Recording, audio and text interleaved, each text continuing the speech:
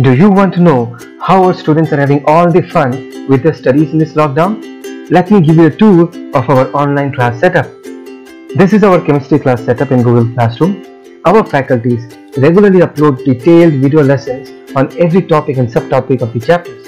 As you can see, this is a video lesson on the topic of solution.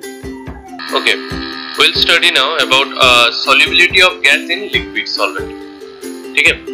तो इसके लिए पहले तो हमें देखना पड़ेगा इसका दो इफ़ेक्ट हो सकता है जैसे यहाँ पे क्या है सॉल्यूट सॉल्यूट क्या है हम लोगों का गैस है ठीक है एंड लिक्विड क्या है liquid is your solvent clear We provide our students with NCERT textbooks and reference notes all in PDF format.